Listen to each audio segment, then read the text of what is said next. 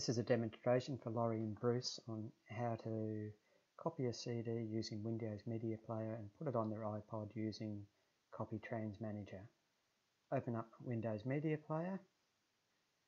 We've already set up the defaults being um, put in your CD. It will find the CD and put in the track names and cover art and so on. If it's if the CD you have doesn't come up with those details, you need to type them in manually and copy and paste a cover into the cover section if you want that on to show up on your iPod. Um, by default, I've already had this in the machine before. By default, it just shows the album name in the first thing here, the artist, and so on. Um, because I've had this open before, I've already typed in the album artist a space a dash so that all albums by that artist end up being together in the iPod rather than uh, scattered around by the first letter of their album title. Okay, settings, we've got the format set up as MP3, audio quality 192 is fine for the iPod and I've told it to eject the CD after ripping. Normally I'd rip the entire CD but um, as this is just an example, we're just going to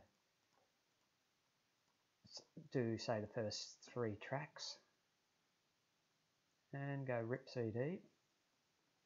See over here it says ripping. Um, it will copy to whatever folder you've set up in settings.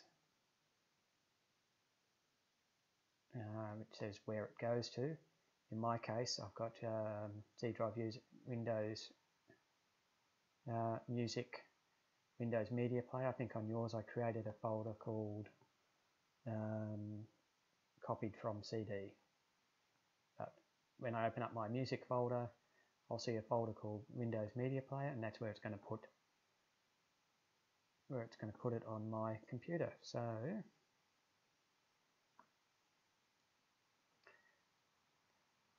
Copy two tracks.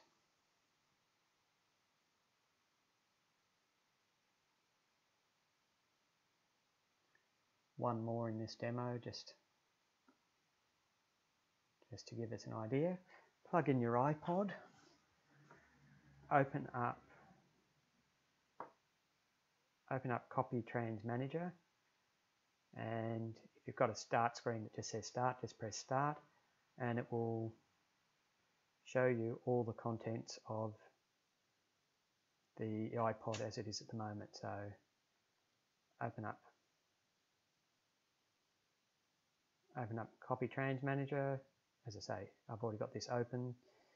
Um, you can see that under the albums, Keith Urban's not currently there.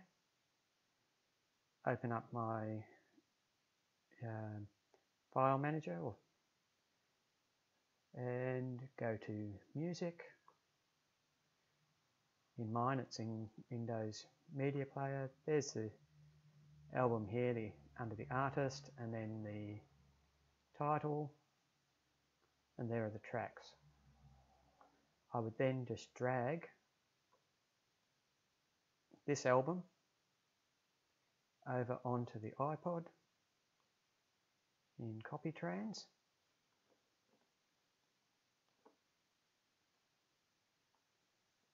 You'll see it adding tracks to adding tracks to the playlist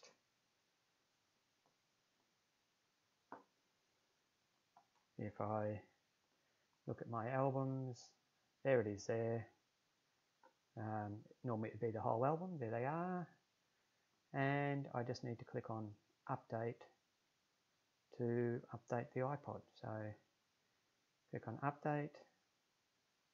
I could then go on and do more albums or I could do a whole bunch of albums and then just drag them all in at once. It doesn't matter which way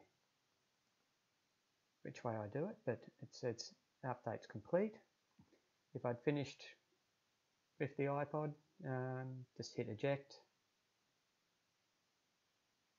and it's all done. It's on the iPod ready to play.